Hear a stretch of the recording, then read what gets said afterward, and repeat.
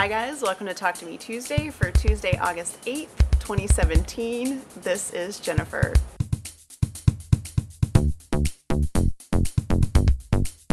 As you can see, we are in one of my very favorite places to record. We are in my backyard with a completed quilt on the fence. This is Lion King quilt number one. I've actually named it Warhol Meets the Lion King, but I'm calling it Lion King quilt number one because there will be a quilt number two and that one will be for the Linus Connection. All of these amazing blocks were made by the Fandom In Stitches community, the Facebook community. I did design the block, but then I put a call out and said, you know, I need to get this quilt made and turned around and I knew I wasn't going to have time to do it myself. And they came through through. They came through brilliantly. Not only did I get enough for this quilt, but I got enough for one for the Linus connection. I have a block to make um, a cushion out of to go with this quilt to the same person who will be receiving this. And I couldn't be happier with the outcome. I am thrilled with the variety of blocks that I got. The back of the um, quilt, the fabric came from Rainy, from our very own Rainy, right here on Talk to Me Tuesday.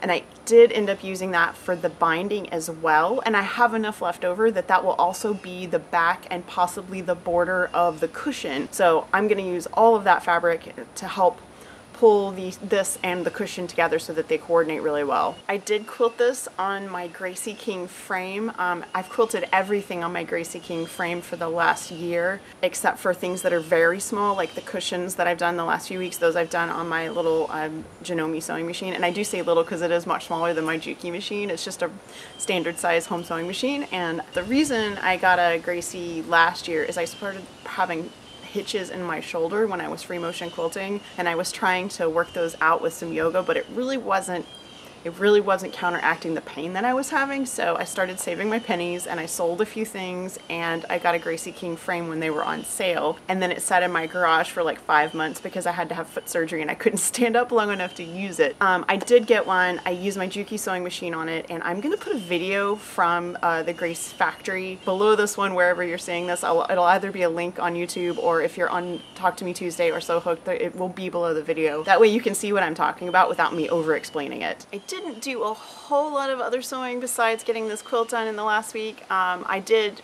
make a label for it, which I'll show you at the end of the video. It includes all the names of everyone that participated. I, I posted a thing in the Facebook group and asked people to make sure that I had their name on the list. Hopefully it's got everyone. I went through all my envelopes and tried to pull everyone's name. I really hope I didn't miss anyone. If I did, I am terribly, dreadfully sorry. Like I said, just I did my best and I did try to give everyone a chance to, to proofread that and make sure I didn't miss anyone. The color of the label is the favorite color of the person who's receiving the quilt, which originally was going to be the binding, and then I just decided it didn't work, so I made it the label instead. I'm delighted that this one is done, and I can't wait to gift it, and I'm really hoping that I will be able to share more about the purpose behind this and who it was for in a couple weeks. I told you guys last week that I might be showing you the prop that my son was making for his cosplay. I am not going to be showing it to you because he has not painted it yet. He's got all the pieces put together. It looks fabulous. I will hopefully be able to show it next week because after next week he will be going back to school and I it will the prop will no longer be here because it's going back with him because he is going to A-Fest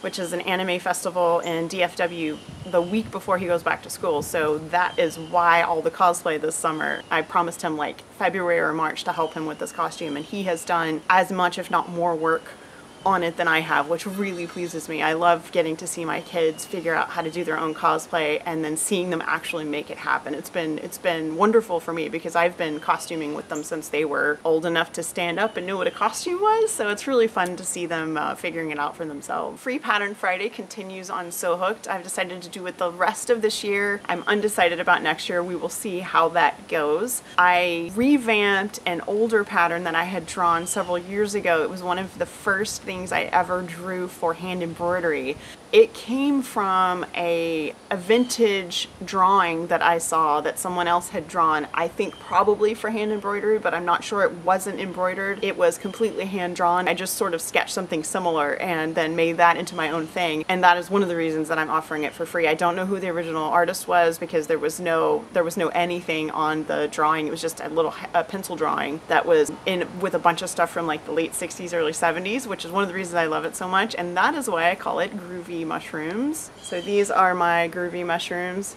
and I actually stitched this. This is the first one I stitched after I drew this. I updated the pattern for 2017. It's a lot cleaner, easier to read, it's smoother. I've learned a lot more about using vector software, so that just makes it look nicer and easier. I did a variety of stitches on this. It's got back stitch and stem stitch and French knots and it's like I said one of the first things I ever stitched. I kept it and hooped it and it hangs by my desk in my sewing room. There will be another free pattern Friday this Friday. I haven't actually decided what it is yet so we will find out probably I'll probably know tomorrow. Sometimes inspiration strikes and sometimes I'm squeezing a little inspiration out of my brain on Thursday so that you get something on Friday so we will see how that works. I've got a new for sale pattern that will be coming up the next couple of weeks. It's out for testing right now. Our very own Susan is one of my pattern testers for this so I'm very excited that she volunteered to help with that. If you're in the Sew Hooked Facebook group, you've already seen what's coming. And with that, I want to talk a little bit, just a tiny bit about Patreon. Uh, I started my Patreon in, I think, April, and I've really been trying to figure it out. I've been trying to figure out the best way to make it work both for me and for you. And one of the things with Patreon is you can do rewards for your patrons. So if you pledge a dollar a month, you, there's a, a, certain thing, and if you pledge five, there's a certain thing. So like for example, my five dollar plus patrons, anybody that pledges five dollars plus, their name is in the credits of my videos. You will see them at the end. Those are all the people that are regular five dollar patrons. As long as you stay a five dollar patron, your name stays in the credits. It's really easy, and, and I do that as a shout out, as a thank you to the people who support me. I had struggled with what to do for ten dollars, and I had originally not done one because I didn't expect anyone to pledge $10. I'm just being honest. I, I had no idea anyone would do that. And a couple people did. So I started thinking about what can I do for them? And at first I did pattern dedication, which is, I think was nice for a little while, but you know, you get that once or twice and okay, patterns are dedicated to me, that's cool. So what I decided to do instead of pattern dedication, I'm not retracting the ones I've already dedicated or anything like that, but the and from now on, for $10 patrons, they are part of what I'm calling the Sew Hooked Patron Pattern Club. It is a long name, we're just gonna call it Pattern Club for short. So anyone who's a $10 plus patron, from now on, any paid patterns that I produce, paid patterns that I produce, we'll just make that a tongue twister, any paid patterns that I produce, those $10 patrons that are current who have made a pledge and had one payment go out. So if you pledge this month, you will start receiving free patterns in September when the next payment goes out.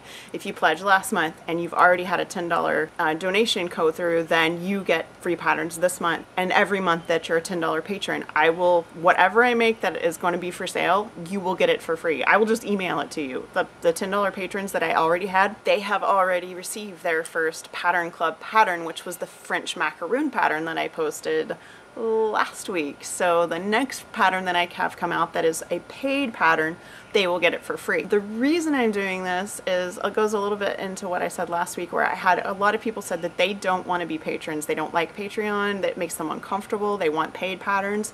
So I'm trying to strike a balance between free patterns and paid patterns while also rewarding those people that are donating money every month. So I don't want you to feel like you're you're a patron and you're not getting enough in return. And I am I am open to suggestions and changes and ideas and um, I'm even open to like a new thing for the $5 level, like whatever you guys want. I want to work with this and I want it to make it awesome for you and for me. Um, the idea for me is to give me an income so that I can keep making patterns and keep designing patterns and keep sharing free content. Anything you have to say on that, I would love to hear it. And I'm probably going to update my Patreon video soon so that it reflects the change. You can find all the links in the description of my video. Stop by Fandom In Stitches tomorrow for our newest event, which is a Stephen King quilt and stitch along. It is an epic event that Alita also known as Tweeloke, is doing. It is a Stephen King bookcase quilt. She has one book that is open and one that is closed for every title, and they are phenomenal. So do all of them, do one of them, look at them and see what you like. I'm also a Stephen King fan and I've got I've been making a list of the ones that I like for my epic to-do list that I'm hoping to do at some point. I at least want to make a cushion out of one of the ones that I've seen that's coming up that's one of my favorites. So hopefully that is something that I can do. And if you like Stephen King at all, you have to go check it out because her, her uh, blocks are just phenomenal. And she covers the gamut. I mean, she like every technique is in there. So go check it out and see what she's up to. Don't forget Rainbow Cascade is coming. It is coming the second Monday of September and we will be quilting, piecing, and having a great time with Rainbow Cascade. I think that's going to be it for me. I've enjoyed sitting outside today. It is overcast so it's not a million degrees here in Austin. Um, we had some rain yesterday, which makes it even a little bit cooler, and I'm anticipating some serious humidity as soon as it heats back up again. The sun is peeking out behind, from behind the clouds. You guys have a wonderful week. Have a crafty week. If you are Talk to Me Tuesday, or don't forget to mail your August swaps. If you want to be a Talk to Me Tuesdayer and you are not, all you need to do is email me, um, sewhooked at gmail.com, and I will add you to the list of people that can post on Talk to Me Tuesday. If you missed my little bit that I shared last week, we have a new Talk to Me Tuesdayer whose her posts were going in the in a queue that I was not being notified about. And when she let me know I just went and posted them all at the same time. So I apologize for that. But you guys go give Robin a warm welcome because she has been making videos every week. I just didn't realize it. So they are now on Talk to Me Tuesday.wordpress.com and I hope you guys enjoy them. That is it. I will see you guys next week. Bye